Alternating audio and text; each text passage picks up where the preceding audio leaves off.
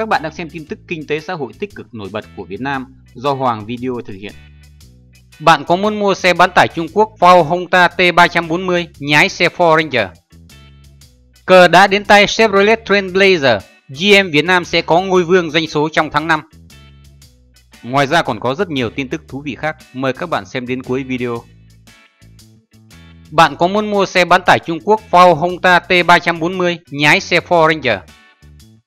Xe bán tải Trung Quốc giá 17.000 đô, nhái thiết kế Ford Ranger Explorer, tương đương 385 triệu đồng tiền Việt Nam. Mẫu xe bán tải Honda T350 vừa được hãng ô tô Trung Quốc Ford tung ra thị trường với mức giá gần 17.000 đô la, có khá nhiều đường nét tương đồng với Ford Ranger, trong khi phần đầu xe lại khá giống Explorer. Trong những năm gần đây, một số thương hiệu xe hơi Trung Quốc liên tục tung ra những mẫu mã với giá bán khá hấp dẫn nhưng phần lớn các chi tiết thiết kế đều sao chép từ các hãng ô tô danh tiếng trên thế giới. Sau chiếc Zotec SR8, nhái kiểu dáng Porsche Macan, T800 sao chép thiết kế Range Rover Sport hay mẫu Taum tên mã MA501 của Zotec, bản sao y bản chính Mazda CX-4 mới đây đến lượt phao tung ra thị trường bán tải Honda T340 với nhiều đường nét khá giống với mẫu xe Ranger và Explorer của hãng xe Ford. Tại thị trường Trung Quốc, Ford phân phối đến 8 phiên bản khác nhau của Honda T340 với mức giá từ 16.760 cho đến 21.310 đô la, tương đương 381 cho đến 485 triệu đồng.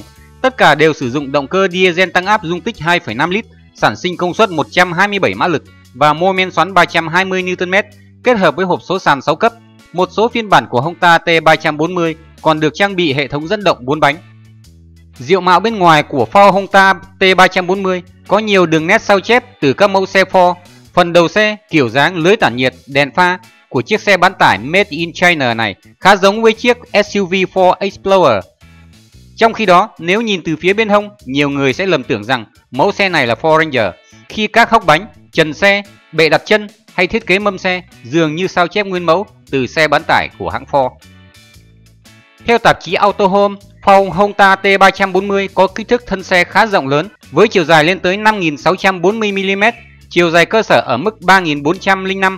Tất cả các phiên bản đều trang bị lốp cỡ 265-65 R17, khoảng sáng gầm xe ở mức 210mm. Có giá bán khá thấp so với các dòng bán tải hiện tại, tuy nhiên Ford Honda T340 cũng được trang bị các tính năng an toàn, tiện nghi như hệ thống chống bó cứng phanh ABS, cảm biến đỗ xe phía sau, vô lăng tích hợp các nút điều khiển, màn hình thông tin giải trí 6 in, cửa sổ chỉnh điện và gương chiếu hậu điều chỉnh bằng điện.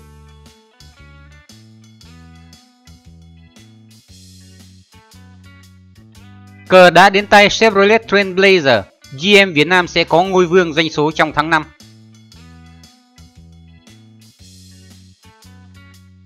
Phân khúc SUV 7 chỗ tại Việt Nam, cờ đã đến tay Chevrolet Trailblazer.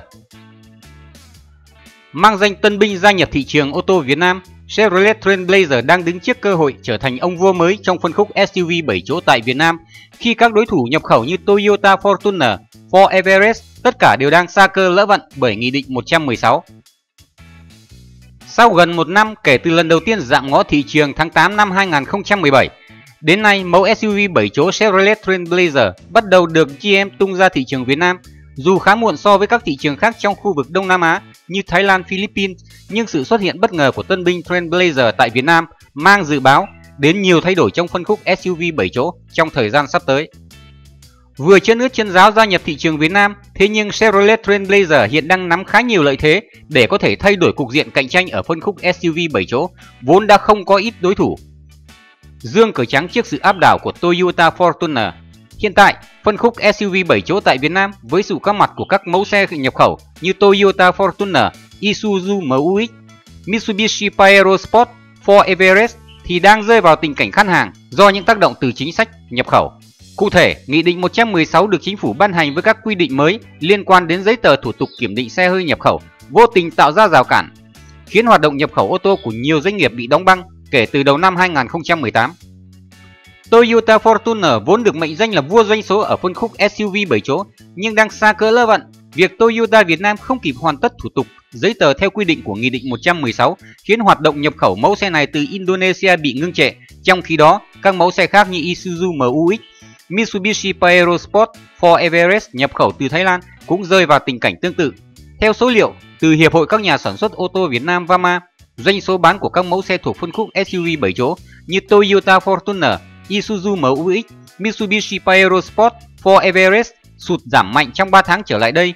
Nguồn hàng dự trữ cũng đang cạn kiệt dần, khiến lượng tiêu thụ Toyota Fortuner giảm dần về con số 0 trong 3 tháng qua. Trong khi đó, Mitsubishi Pajero Sport, Ford Everest chỉ đạt doanh số bán chưa đủ 10 xe cho mỗi tháng.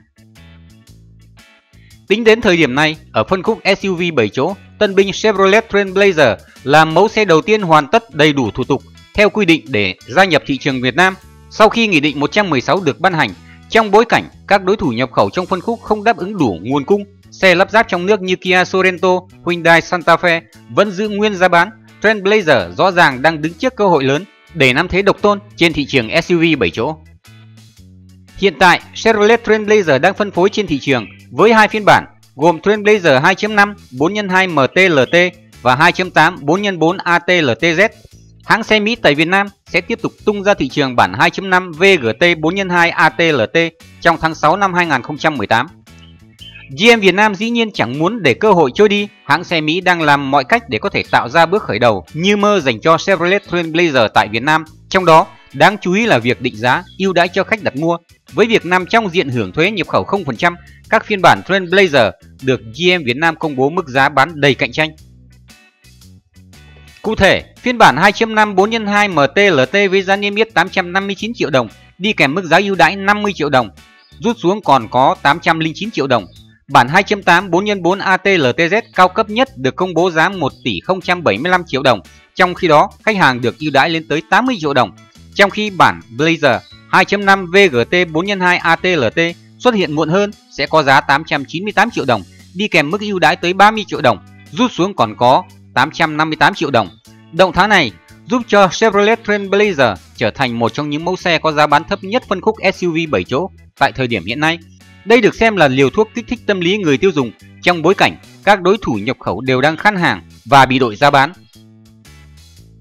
Cờ đã đến tay, Chevrolet Trailblazer đang hội tụ rất nhiều lợi thế để tạo ra một cuộc cách mạng trong phân khúc SUV 7 chỗ tại Việt Nam.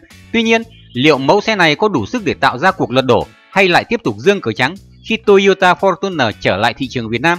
Câu trả lời tùy thuộc rất nhiều vào chiến lược chiến thuật của GM Việt Nam trong việc thuyết phục người tiêu dùng trước một mẫu xe hoàn toàn mới như Chevrolet Trailblazer.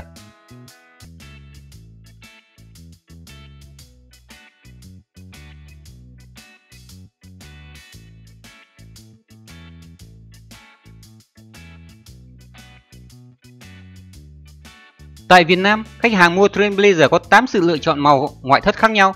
Nó sẽ đóng vai trò thu hút thêm khách hàng mới cho hãng xe Mỹ, lấy lợi thế về công nghệ, trang bị và nhập khẩu nguyên chiếc để cạnh tranh. Mức giá trên được đánh giá là khá cạnh tranh, nhất là khi khách hàng mua xe trong tháng 5 và tháng 6 sẽ được ưu đãi tới 30, 50 và 80 triệu đồng tùy theo từng mẫu xe. Ưu đãi này sẽ trừ trực tiếp khi khách hàng mua xe và được áp dụng trên toàn quốc. Trailblazer có chiều dài 4.887mm, rộng 1.902mm và cao 1.850mm. Khoảng sáng gầm xe đạt 221mm, giúp nội thất xe không những rộng rãi mà còn tăng cường khả năng chinh phục địa hình. Sức mạnh của Trailblazer đến từ ba sự lựa chọn động cơ khác nhau: 2.8, động cơ 2.5 FGT và động cơ 2.5 VGT điều khiển cánh biến thiên. Trong khi đó, phiên bản 2.8 LTZ AT 4x4 sử dụng động cơ turbo diesel Duramax 2.8, 4 xi lanh thẳng hàng có công suất 197 mã lực và mô men xoắn 500 Nm, cung cấp sức mạnh cho phiên bản 2.5 LTMT 4x2. Bản 2.5 FGT là động cơ turbo diesel Duramax 2.5 sản sinh công suất 161 mã lực và mô men xoắn cực đại 380 Nm, hỗ trợ khả năng vận hành là hệ thống lái trợ lực điện FPS, chuyển đổi nhanh giữa chế độ một cầu và hai cầu. Công nghệ an toàn trên xe có thể kể đến như cảnh báo điểm mù, cảnh báo phương tiện di chuyển ngang khi lùi xe. Các phiên bản LTZ còn được trang bị cảnh báo va chạm trước, cảnh báo xe lệch làn đường, camera lùi. Những tính năng an toàn tiêu chuẩn khác trên mẫu Trendblazer LTZ mới bao gồm hệ thống kiểm soát lực kéo TCS, phanh ABS EBD, cân bằng điện tử ESC, hỗ trợ xuống dốc HDC, hỗ trợ khởi hành ngang dốc HSA, kiểm soát áp suất lốp TPMS.